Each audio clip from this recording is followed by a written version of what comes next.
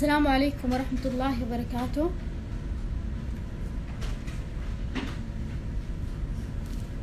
تسمعوني؟ تمام؟ صوت واضح؟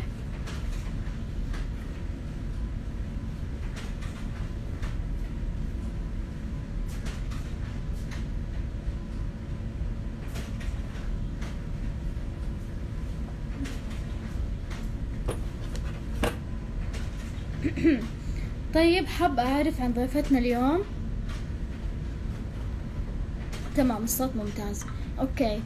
آه اليوم ضيفتنا مهتمة بكل أنواع الجمال ومدربة معتمدة في الفنون التشكيلية وبالأخص فن الريزن حاصلة على شهادة TOT لتدريب المدربين وإعدادهم وكمان حاصلة على بكالوريوس إدارة أعمال مهتمة بعلوم تطوير الذات وشاركت في تقديم دورات حضورية وتحفيزية وتطبيقية بالإضافة إلى عمل دورات أونلاين سواء برعاية شركات معينة أو كجهة خيرية. بالإضافة إلى أن هي صاحبة حساب نود آرت. معانا آه، الفنانة نسرين مصطفى سخاخني. حن... حندخلها قست دحين.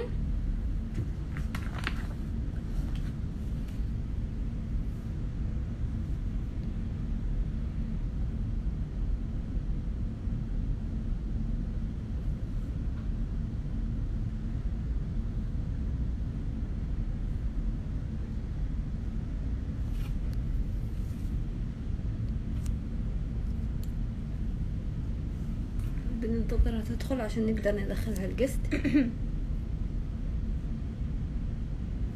دقايق بس علشان ننتظرها تدخل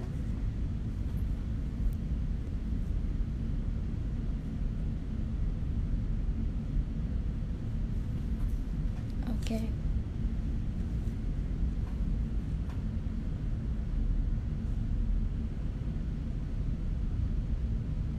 لسه ما دخلت لسه ما دخلت أستاذة نسرين. طيب بما أنه باقي أستاذة نسرين ما دخلت آه حكلمكم شوية عن المسابقة اللي هي حيكون آه كل نهاية حلقة في سؤال وحيكون ال- الجائزة حقت السؤال هذا آه كوبون آه كوبون آه بخمسمية ريال. مقدم من آه، شركة عالم الهوايات يعني كوبون مشتريات فقط.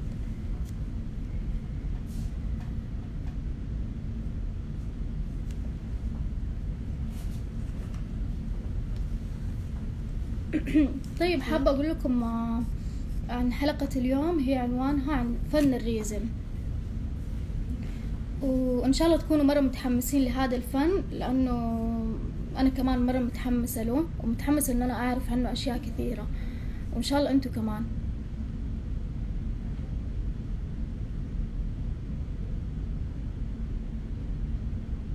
وإذا حابين تكتبوا أسئلتكم علشان تقدر تجاوب عليها الأستاذة نسرين آه، اكتبوها. الحلقة ماكسيموم ساعة يعني بس هو على حسب. أحيانا تكون نص ساعة.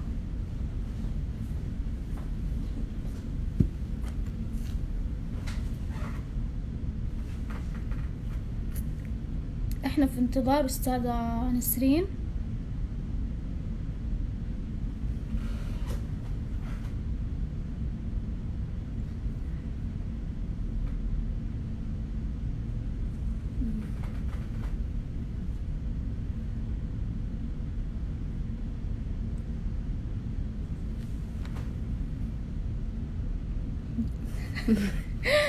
تسلمي تسلمي يا نسرين.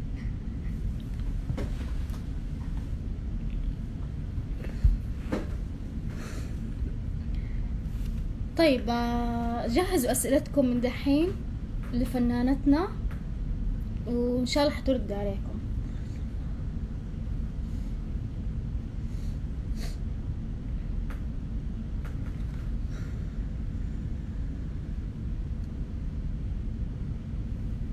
آه طب أوكي حنقرأ في الكومنتات. في أحد بيقول متى حتتوفر أنواع الطين عندكم؟ هي متوفرة بس يمكن في نوعين اللي هي مخلصة وإن شاء الله حتتوفر قريب.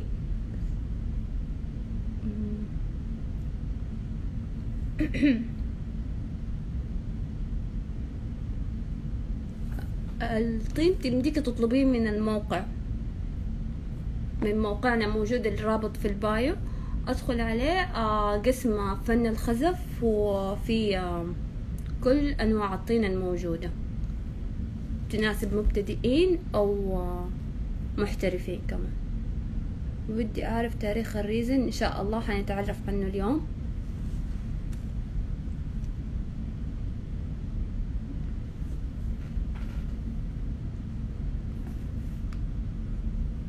حنرجع نشوف أستاذة نسرين.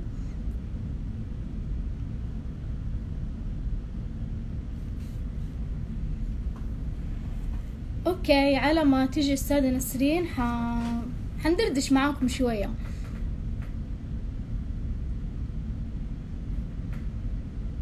اللي عنده سؤال يتفضل. أيوه. حتتوفر قريب إن شاء الله يعني قريب قريب جدا. ما عندي تاريخ بالضبط متى حتوصل بس إن شاء الله قريبا. تابعينا في صفحتنا كل جديد بنعلن عنه مم.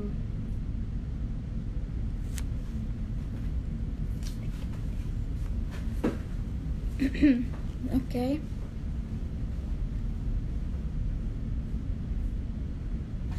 جت آه، دقيقة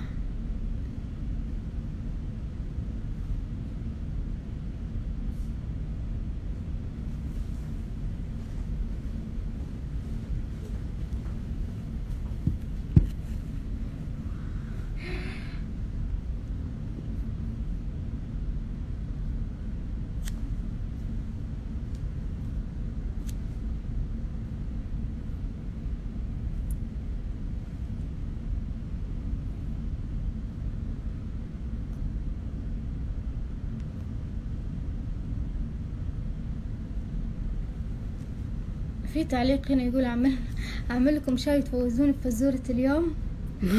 يا ليت والله. لو بيدنا نفوز الكل.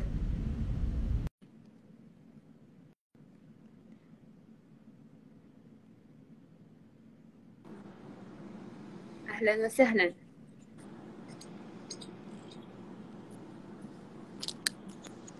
أهلين مساء النور. أهلين حبيبتي وجدان السلام عليكم. أهلين عليكم السلام. معك وجدان وأفنان من عالم الهوايات. كيف حالك أستاذ نسرين بخير يا قلبي. كيفكم إن شاء الله؟ أنتم بخير. أهلا وسهلا بكم أفنان ووجدان حياكم الله. وأهلا وسهلا بالمتابعين كلهم. كل سنة وأنت طيبة. وأنت بخير وسعادة يا رب حبيبتي. طيب؟ أستاذة نسرين تفضل. آه حابين أول شيء نعرف إيش هو فن الريزن؟ آه هو فن الريزن حبيبتي هو عبارة عن آه يعني هو أصلا كانوا يستخدموه لهم فترة من زمان في استخدامات البناء واستخدامات الطلاء. بس السنوات الأخيرة هذه حبينا إيش؟ يعني نفس الفنانين اكتشفوا إنه هذه المادة ممكن تستخدم آه في الديكورات والأعمال الفنية الأعمال اليدوية. فهي بالتالي آه عبارة عن مادة شبيهة بالزجاج من ناحية اللمعان من ناحية الصلابة. وفي نفس الوقت شبيهة بال, بال يعني البلاستيك المقوى من ناحية إنه غير قابل للكسر فاهم علي؟ آه إيه. بحيث نحن كفنيين ممكن نشكل منها أشكال وديكورات آه ممكن نتفنن عموما في عمل لوحات في عمل زي ما قلت لك في عمل آه، ديكورات منزلية عموما يعني كديكورات أو آه، جدار أو طلاء أو أي شيء من الأعمال اليدوية اللي ممكن نحن نمارسها عموما كنساء أو كفنيين أو حرفيين. ما شاء الله ممتاز. آه طيب إيش إيش هي مادة الريزن؟ يعني هي تشبه القزاز بس هي ما هي قزاز صح ولا؟ لا هي إيش تتكون؟ إيش هي؟ هي عبارة حبيبتي آه، المادة زي ما قلت لك هي آه، شبيهة بالقزاز. آه، بس هي قبل يعني كمادة خام هي عبارة عن مادتين نخلطها مع بعض عشان تعطيني مادة الريزن خلاص؟ آه، عبارة عن مادتين المادة الأولى نحن نقول لها راتنج والمادة الثانية هي المصلب أو ال hardener طبعا آه، نخلطهم مع بعض بنسب معينة آه عشان تعطينا التكوين النهائي اللي هو نطلق عليه باسم راتنج نطلق عليه باسم ريزن. فاهمين علي كيف؟ هل الريزن أنواع؟ أيوه طبعا. ولا يعني؟ هو الريزن عموما أنواع مثلا في منه الأيبوكسي آه في البلو- البوليستر كلهم يعني نفس المادة بس هم لعبوا عموما في تركيباته بحيث لو زودوا مثلا المصلب وأضافوا عليه آه إضافات خارجية ممكن نطلق عليه أيبوكسي خلاص؟ لو أضفنا عليه مثلا مواد برضو آه كيميائية زيادة وحطينا عليه بودرة معينة آه مع نفس الريزن نقدر نعتمد ونست... يعني نطلق عليه اسم بوليستر فاهم علي؟ بس هو كل الأسماء عموما أو كل التكوين تكوين واحد فقط نضيف عليه بعض الأدوات أو الخامات الكيميائية بحيث نطلق عليها المسميات المتفرعة من من اسم ريزن بس هو نفس الاستخدام يعني. لا لا لا مو نفس الاستخدام لا؟ يعني مثلا إيوه لا مختلف يعني. إحنا عندنا هنا الاستخدام. لا مثلا عندك الريزن اللي هو الريزن اللي إحنا بنستخدمه في الأعمال الفنية. هذه مخصص للأعمال الفنية. آه ما فيها ضرر ما فيها يعني حتى نسبة الضرر خفيفة جدا عن أنواع الثانية في مثلا الأيبوكسي مثلا آه، يستخدموه في الأسطح الص- الصلبة شوية زيادة. آه ممكن نستخدمها في كانوا زمان يعني نفس حقون الديكورات وزي كده يستخدموها مثلا آه، في الأنابيب تبع البناء نفسها الأنابيب والأشياء دي يعني فاهم علي؟ أما آه عندك أما كل مادة عموما لها خصائص مختلفة عن الثانية بس ال resin اللي إحنا نستخدمه مخصص للأعمال الفنية. ممتاز. طيب أستاذة نسرين في سؤال هنا يقول أقدر أستخدم ال resin كورنيش؟ إي نفس لأنه بيعطيكي نفس لمعة الزجاج. فبالتالي يعني ممكن بعد مثلا. أيوه. آه لي مثلا زي أعمال الديكوباج بعض الاحيان نحن نستخدم آه. خلاص بعد ما نخلص العمل تبعنا ممكن نطليه بال بال resin بحيث يعطيني نفس اللمعان تبع الزجاج. okay ممتاز. طيب أستاذة نسرين هل هل هذه المادة آه، آمنة للبشر والأطفال مادة الريزن؟ آه بعد استخدامها ممكن نقول يعني بعد ما تتصلب عندنا ممكن يعني يعتبر آه، 80% إنها آمنة بإذن الله بس مع ذلك يعني أنا كمدربة آه ما. أنصح يعني صحيح بيقول لك بعض الريزينات إنه آه يعني إيش يقول لك إنها آمنة ويعني مصرحه من هيئة الدواء والغذاء بس أنا. كمدربة ما أنصح الصراحة إنه مثلا آه تستخدمي آه، قاعدة resin صحن resin تستخدميه مثلا في الأواني المنزلية إنك تحطي مثلا أكل مثلا زي عندك هنا القاعدة عندي ما أنصح okay. إنك تستخدميها آه الأكل مباشرة على العمل تبعك okay يعني مثلا حطي له مثلا ورق حطي له ورق زبدة أي شيء يكون حائل بين ال- الأكل نفسه وبين ال- العمل هذا أيوه لكن استخدامه آه قبل لا يتصلب آه برضو عليه طبعا احترازات عليه تحذيرات برضو- انه بعض الريزينات بيقولوا لك إنها هي آمنة بس مع ذلك ما يحبذ يعني ما يحبذ إنك مثلا تخلي أولادك أو تخلي أخوانك الصغار يعني يستخدموه مدة طويلة لأنه برضو بيأثر. يعني برضو في النهاية يعني مادة كيميائية يعني فاهمة علي؟ okay. تمام. آه هل مادة ال resin تصفر بعد مدة زي ال pour on أو لا؟ آه والله شوف الصراحة هو ممكن تأثر أو ممكن تتغير ألوانها آه مع اختلاف الجو عموما. خلاص يعني إحنا عندنا هنا resin مثلا أجود أنواع ال resin ممكن بعد سنة. okay بعد سنة ممكن تلاحظوا إنه في آه شوية تغيير أو شوية آه، إصفرار خصوصا في الأعمال اللي فيها شفافية. okay. لكن آه طبعا في ريزنات في شركات كثيرة لل resin آه في شركات مثلا من ثلاثة شهور تبدأ تصفر عندك ال- ال resin تبعك فاهمة العمل تبعك.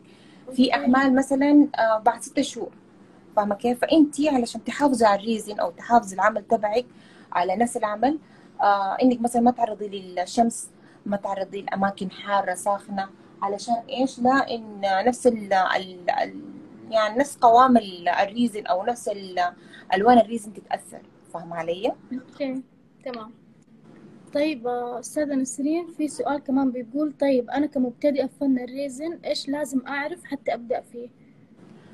آه لازم تعرفي حبيبتي أول شيء إنك آه تجهزي نفسك يعني أنت مثلا حابة تدخلي في فن فن أي شيء في الحياة مثلا فن resin أو أي فن أول شيء يكون أنت عندك الرغبة إنك تدخلي ده الشيء طبعا تدخلي ده المجال. خلاص الرغبة هي اللي حتحركك وحتخليك تستمري. آه طبعا تعمقي في الفن اللي أنت تدخلي فيه. لازم تقري تشوفي تتصفحي تتعمقي فيه تعملي بعد كده بيئة عمل. يعني خلاص أنا عرفت ال resin إيش يحتاج يحتاج بيئة عمل يحتاج طاولة يحتاج مثلا آه مجفف يحتاج آه أدوات معينة أنا أحضرها. آه بعد كده طبعا آه انت بعد كده لما تستمر في الأعمال حقتك وتجربي الأعمال تبعك لازم تبدأي تتعمقي تبداي تعرفي تاخذي دروس فاهمه علي؟ أما عن الأدوات اللي مثلا حتبداي فيها في البداية فهي أشياء بسيطة جدا بنات. يعني مش بشرط إنك تجيبي أو تكلفي نفسك التكلفة العالية جدا. يكفي إنك تجيبي مادة الريزن وقالب عندك حتى القالب يعني حنقدر نصنعه بنفسنا يعني من الصلصال. الصلصال العادي حقنا هذا حق الأطفال اللي إحنا نستخدمه في المكتبات أو الصلصال العادي. ممكن نعمل بيه قالب وعندنا مادة الريزن وألوان. خلاص كده هذه ثلاث أساسيات نحن نحتاجها. بعد كده حنجيب اللي هي طبعا الأكواب نحتاج أكواب نحتاج الملاعق نحتاج الأشياء البسيطة دي اللي نحن راح نخلط فيها. بس الأساسيات اللي هي ريزن ألوان وقالب للعمل تبعك. كده أنا كده هيأت بيئة مبدئية للعمل تبعي. فاهمة علي طيب. اتفضل. ماني سامعتك. كده تمام سمعتني أيوه حبيبتي هذا تفضلي يا قلبي أيوه أستاذة نسرين. طيب هل يحتاج ألوان معينة للفن الريزن؟ أيوه طبعا في فن ال resin له أنواع كثيرة من الألوان. آه راح أوضح لك إياها الآن. آه في عندنا طبعا الألوان ال resin. آه في شركات كثيرة. هذه ألوان مخصصة لل resin. خلاص هذه الألوان ما أدري شايفتها ولا لأ. هذه أيوة. الألوان. هذه هذا؟ أيوه ألوان مخصصة لل resin. طبعا أنا عندي هنا أستخدم آه الألوان تبع جرافيتي. بس في أنواع كثيرة في السوق ممكن نستخدمها آه خاصة بال resin. خلاص هذه ألوان سائلة تجينا ألوان صريحة.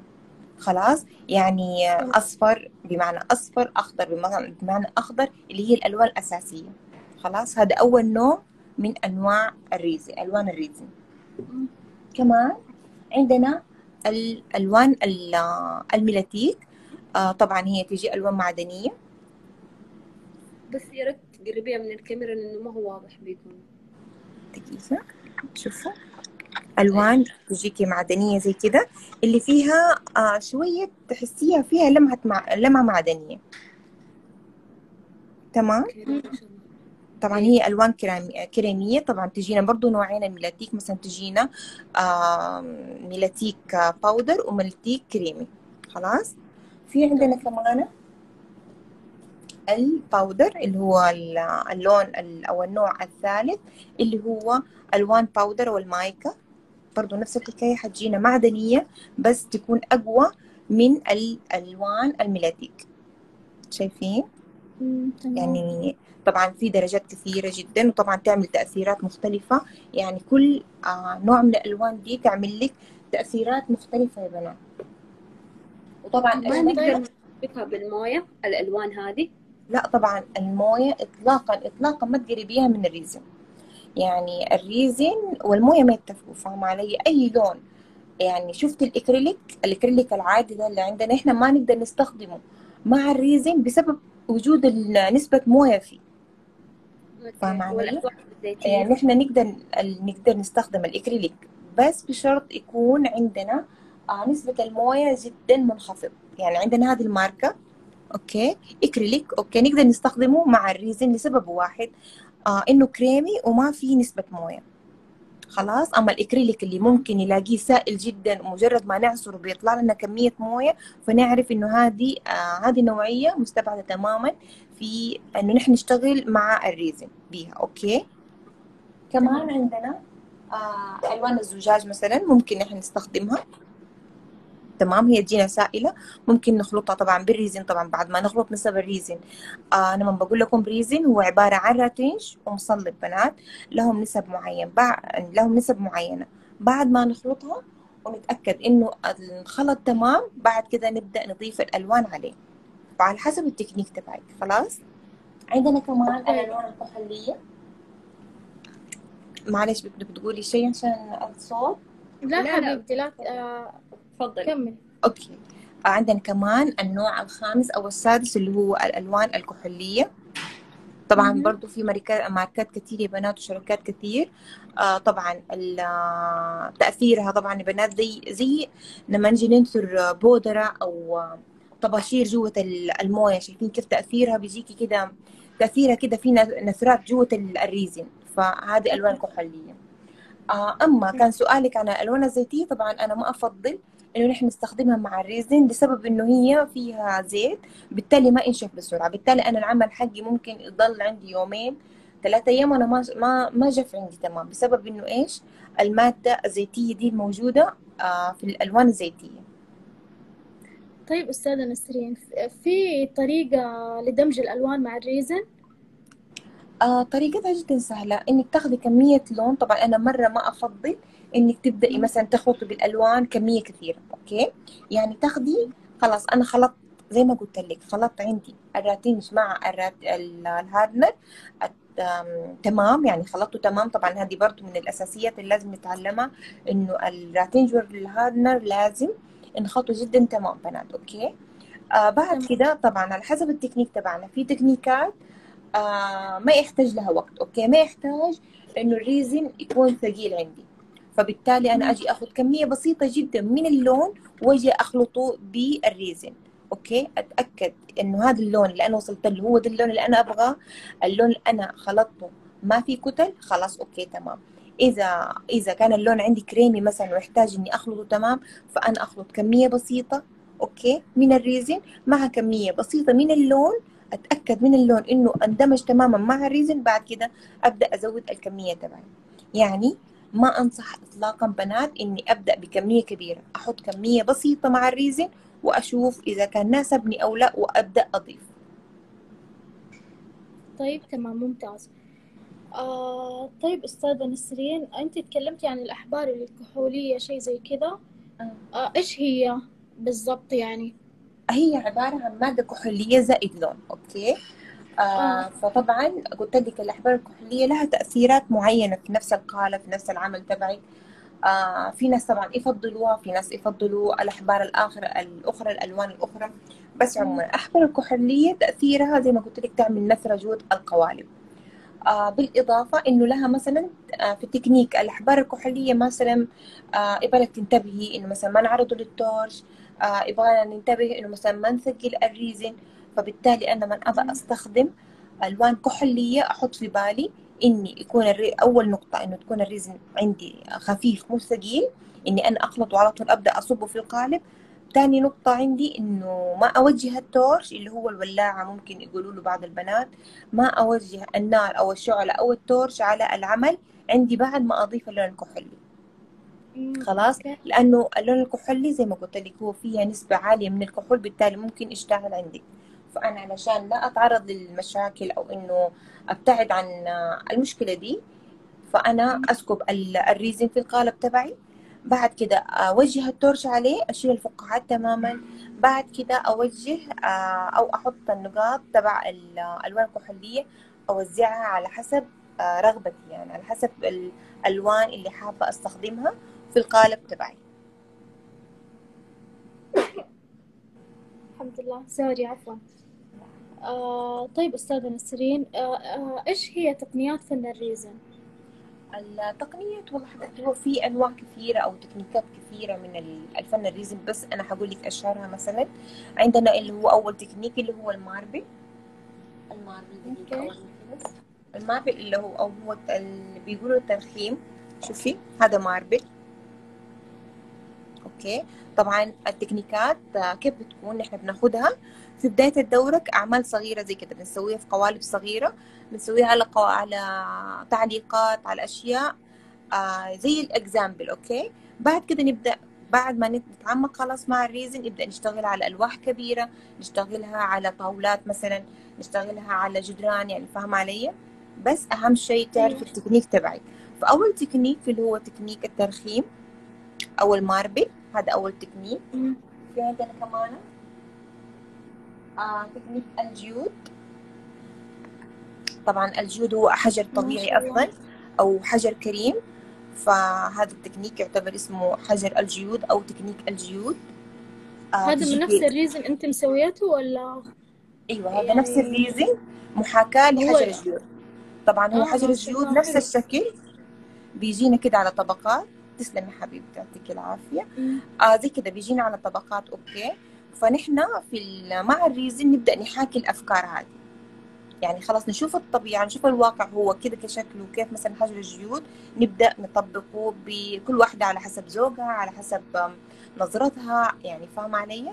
أهم شيء إنك أيوة. تحاكيه ويعني ما تبعدي كتير عن إنه فكرة حجر ال geode بيجيكي بطبقات زي كده فهذا التكنيك الثاني اسمه تكنيك الأحجار الكريمة أو تكنيك ال geode كويس. كمان عندنا تكنيك ثالث اللي هو تكنيك موج البحر. بيجينا زي كده طبعا موج البحر. okay آه موج البحر. طبعا برضو نفس الحكاية نحن هنا بنحاكي آه البحر تأثيرات البحر طبعا آه كله بال resin كمان عندنا تكنيك الوردة مثلا هل يعني كل نوع من الألوان أقدر أسوي فيه له تكنيك ولا أي نوع؟ من الألوان أقدر أسويها في أي آه، تكنيك أنا ممكن. ولا ممكن تستخدمي أي لون أي نوع من الألوان ممكن تستخدميها. ما عدا الألوان الكحولية. الألوان الكحولية آه زي ما قلت لك هي تأثيرها محدود ويعني فقط يعطيك التاثيرات اللي قلت لك عليها بداخل القوالب. لكن ما تقدري تتحكمي فيها كلون. يعني ما حيعطيكي تأثيرات مثلا زي ال metallic بتجففيه آه مو بتجففيه قصدك بتخلطيه بتثقليه بتعمليه بأشكال تقدري تتحكمي فيها okay؟ هو تأثيره آه أو جماله فقط في النثرات اللي قلت لك عليها. فعندنا كمان تكنيك عندنا تكنيك الوردة شايفة؟ مم. هذه ألوان metallic يعني. ممكن نستخدم ألوان metallic ممكن نستخدم آه ألوان آه resin. يعني في أي تكنيك ممكن نستخدم أي نوع من الألوان. لكن ما عدا اللي هو الألوان الكحولية آه ما بتعطينا تأثير. غير تأثير محدود اللي هو قلت لكم النثرات داخل القوالب. ده تكنيك الوردة. طبعا نحن نحاكي فيها الوردة. عموما بكذا شكل بكذا نموذج. وكمان عندنا تكنيك اللي هو ال- السكب المباشر اللي هو يجيك زي كده سكب تجريدي للألوان. بهذا الشكل. ممكن نستخدمه زي كده مثلا برضو سكب مباشر. اللي هو نستخدم فيها نعمل فيها زي ال- الفواصل تبع الكتب ممكن نعمل فيها آه، قلائد حروف يعني فاهم علي؟ المجال مفتوح فقط انت حددي فكرتك. طبعا هذه كلها سكب مباشر إنه نحن نستخدم السكب ونضيف عليها الخامات زي الورود آه زي هنا glitter وخرزات فكلها تعطيني نفس التكنيك. طبعا هذا تكنيك السكب. وطبعا في تكنيكات تانية بنات زي okay. تكنيكات هو نقدر ندمج الالوان حقت ال resin مع معلش عفوا ماني سامعة إيش الصوت بعيد أستاذة نسرين آه كنت بسألك سؤال إنه هل نقدر ندمج ألوان ال resin مع بعض بس ألوان عادي كمل. ممكن بعدين يعني مثلا. أنا عندي يعني قصدك مثلا أنا عندي عمل وحابة أستخدم آه لون آه سائل لون آه resin سائل مع لون metallic مع لون زي كده. قصدك يعني؟ أيوه yes ممكن. يعني زي هنا عندي مثلا. خليني أوريك النموذج ده. أنا عندي هنا. شوفي مستخدمه كذا لون اللي هو مثلا اللون الأبيض لون سائل. okay؟ اللون الذهبي الذهبي اللولي هو لون metallic واللون الذهبي الغامق هذا لون بوي. فأنا استخدمت كذا لون أو كذا نوع مع بعض عشان يعطيني شكل معين. فممكن تستخدميه. بس قلت لك على حسب التكنيك تبعك. يعني مثلا آه عندنا في السكب المباشر إحنا ما نحتاج إن إحنا نثقل ال resin نحتاجه سائل. خلاص عندنا تكنيك ال geode مثلا لازم نثقل ال resin. ليش؟ علشان تعمل لنا حدود بين الألوان. ما تندمج الألوان مع بعض. okay؟ فأنت على حسب التكنيك اللي أنت بتتبعيه تخلطي ألوانك وتعتمديها وتثقلي ال resin حقك. يعني أنت خلاص عارفة مثلا أنا في تكنيك معين أحتاج إنه يكون الألوان مفصولة عن بعض فبالتالي أجي أثقل ال resin. طيب أنا مثلا في تكنيك تاني محتاجة الألوان تكون مخلوطة مع بعض وبالتالي أنا آه، اخف ال resin. okay؟ حلو. الله هذه. كل التكنيكات حقت ال resin؟ آه إيوه هذه التكنيكات. عالم نعم ماني سامعة. عالم آه، تكنيكات ال resin ما شاء الله. أيوه هو أنا بقول لك ما شاء الله تبارك الله. يعني هو التكنيكات كثيرة بس اللي مطلوبة دايما آه، في يعني يعني دايما نشوفها في المتاجر أو الكثير البنات يطلبوها اللي هو أكثر شيء ال geode الترخيم ال- مثلا السكب. يعني مثلا البنات اللي يحبوا يعملوا ال- الإكسسوارات ويعملوا مثلا التعليقات حق السيارات والأشياء دي يحبوا يعتمدوا السكب. okay؟ آه في ناس لا بنات مثلا يحبوا مثلا الترخيم فيستخدموه مثلا في الطاولات okay؟ في بعضهم يستخدموا ال geode مثلا عشان يحبوا مثلا يعملوا السبوتة تبع يعني تبع الحلا ال- تبع التقديمات يعني فاهمة علي؟ فكل وحدة لها جمالها في منطقة معينة okay؟ يعني يعني كل واحدة على حسب فكرتها على حسب هي إيش حابة تبتكر يعني فاهمة علي؟ بس هي عموما كل التكنيكات ممكن تنفذيها على طاولة ممكن تنفذيها على لوحة ممكن تنفذيها على حتى لو تبي تسوي مثلا آم، تحفة. okay؟ ممكن تنفذيها.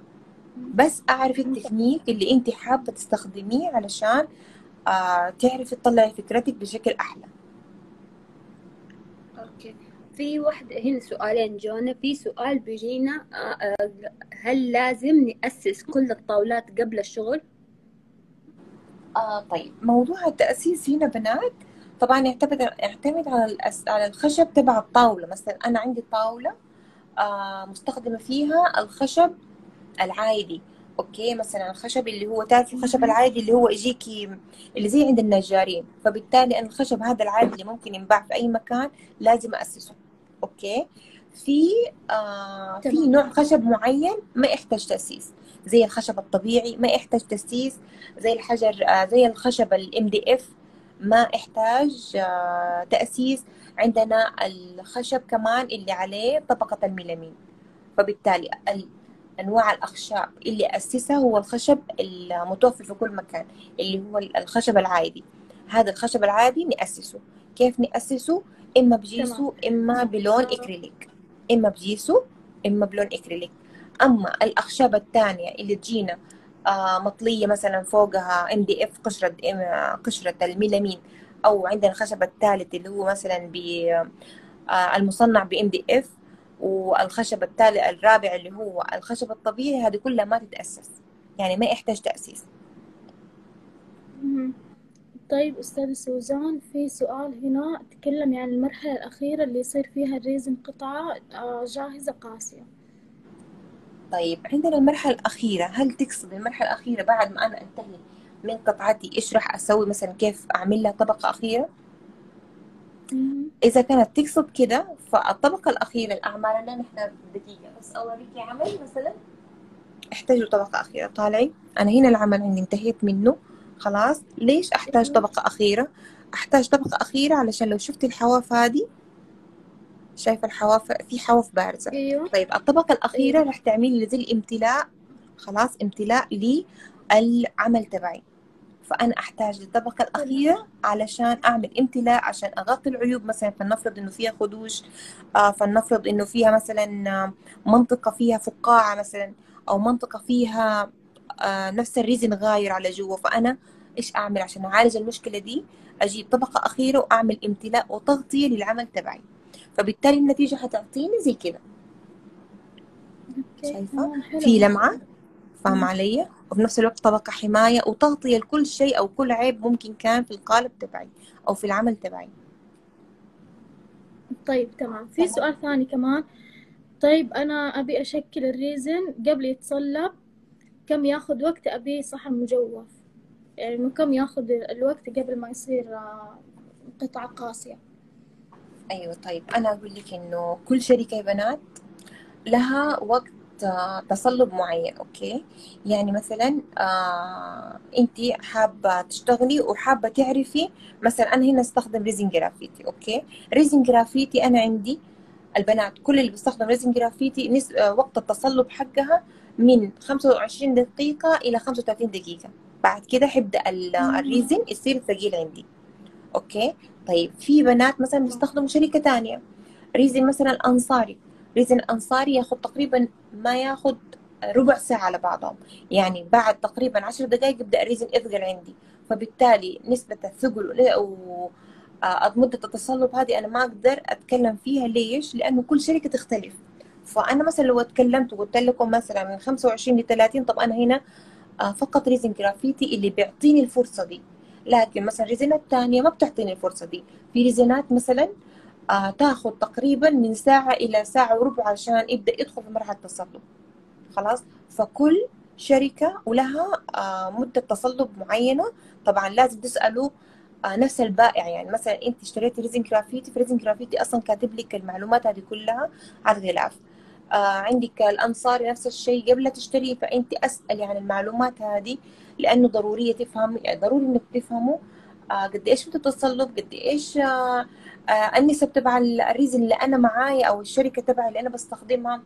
آه يعني لازم التفاصيل دي تعرفوها علشان آه لا تنخرب عندكم الأعمال. تمام؟ تمام. فبالتالي نسبة طيب. التصلب زي ما قلت لكم نسبة التصلب مختلفة من شركة لشركة. حلو. طيب آه، في سؤال كمان آه آه عملت قالب بالصلصال الخاص ولكن مرت 24 ساعة وما قسي إيش السبب؟ عملت قالب أيوه من الصلصال الصلصال الخاص ولكن أيوة. مرت 24 ساعة وما صار قاسي إيش السبب؟ هل تقصد الصلصال اللي ما صار قاسي أو الريزن إذا كان الريزن اللي ما صار قاسي فعندنا نحن ثلاثة غلط ممكن نكون ارتكبناها أثناء العمل وخلت العمل غير قاسي. اللي هو. ممكن يكون النسب عندي خطأ أو يكون طريقة الخلط عندي خطأ أو يكون آه كمية ال- اللون اللي أضفناه للريزن كثيرة. فبالتالي هذه الثلاث الأسباب تؤدي إلى عدم تصلب العمل تبعي.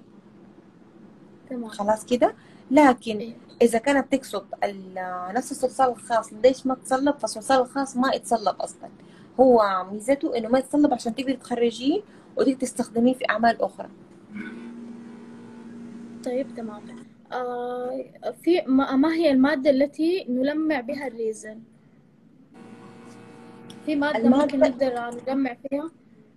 إيوه ممكن نستخدم بنات الألوان ال- مادة التلميع الاضاءات تبع السيارات طبعا هذا الشيء كمان آه يعني مثلا أنت تستخدمي أعمال resin عندك فضروري يكون عندك المادة دي. اللي هي تعرف ملمعات ال- آه ال- الإضاءة تبع السيارات ال light تبع السيارات. هذه هذه المادة تكون مخصصة للتلميع عموما. خلاص؟ فأنتوا إيش حتجيبوا؟ حتجيبوا المادة دي خلاص؟ ونبدأ. آه هي تجي زي مادة المعجون أوكي؟ هنسكب طبقة. تمام. خلاص على العمل تبعي تمام وأتركه ينشف. خلاص نفس الطبقة دي أتركها تنشف على العمل تبعي. خلاص كده؟ بعد ما ينشف بعد كده أجيب ال ال- تمام بينشف هي هي أو بتدي اللمعان هذا. أيوه هي تعطيكي لمعة للعمل تبعك لأنه بعد ما أزلتيها خلاص حتتغطي لك كل شيء أو الخدوش. حتى الموجودة في العمل تبعك بيبدأ يروح مع المادة دي. مم. طيب هل المادة هذه تحمي قطعة ال resin ولا في شيء ثاني ممكن يحمي لي القطعة؟ لا المادة دي ما تحمي هذه المادة تلمع ال resin. لكن حماية كحماية للقطعة فأنا أيوة. ما في أي منتج ممكن يحمي لك القطعة غير آه، طبقة ال resin. خلاص؟ بس عندي آه تمام. اللي لاحظتها في الأعمال مم. آه إنه آه مجرد ما يجي في عندك العمل المفروض ما نستخدمه. أوكي بنات؟ المفروض بعد ما يتصلب عندي العمل بيوم واحد أنا عندي 24 ساعة العمل عندي حيتصلب تمام؟ فأنا عشان لا يتخدش عندي أترك العمل عندي تقريبا ثلاثة إلى أربع أيام يتصلب تماما. خلاص بنات؟ بعد كده أبدأ. استخدمه ليش؟ لأنه في خلال الثلاث الأيام هو لسه يعني تصلب من الخارج لكن نفس قلب الريز اللي لسه فيه آه نسبة ل- ليونة. فبالتالي أي خدش أي حاجة حطيتيه عليه ممكن يختج لك طبقة الريزن أو العمل تبعك. خلاص؟ فبالتالي علشان أتجنب هذا كل المشاكل أترك العمل عندي يجي تقريبا ثلاثة أيام أربع أيام بعد كده أبدأ أستخدمه وما راح يظهر فيه الخدوش بسرعة. وإذا أتخدش عندنا ساعتها نستخدم الملمع. طبعا بعد استخدامات كثيرة للعمل تبعنا أكيد راح يتخدش زي الزجاج. فوقتها حتقدر تستخدم تسترجع لمعته بالمادة آه تبع تنظيف اللايت تبع السيارات. أو الإضاءة تبع السيارة. تمام حلو. طيب أستاذة نسرين آه أنا حابة أشكرك مرة على هذه الحلقة. مرة استمتعنا فيها واستفدنا آه، وأخذنا معلومات كثير. آه، حابة بس أختم معاك الحلقة بسؤال. تفضل آه، نسأل المتابعين سؤال. تمام. خلال الحلقة قلنا عن نوع من الأنواع اللي ما ينفع آه نستخدم معاها أي شعلة حرارية. سؤالي جدا بسيط يعني بس أتمنى اللي يكونوا حاضرين.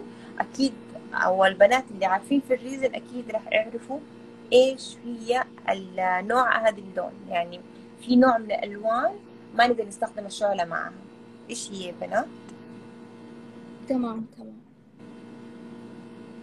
طبعا أنا انبسطت كثير معلش إيش؟ أيوة حبيبي تفضلي معلش بس حابة أقول لهم إنه ال... إحنا حننزل السؤال هذا في ال... في الإنستغرام على حسابنا وأنتوا الأجوبة حتكون تحت السؤال. مو هنا تجاوبوا يعني. تمام. عشان يتم السحب عليها. أنا قاعدة أشوف التعليقات ما شاء الله الكثير قاعد يجاوبوا. تمام أوكي.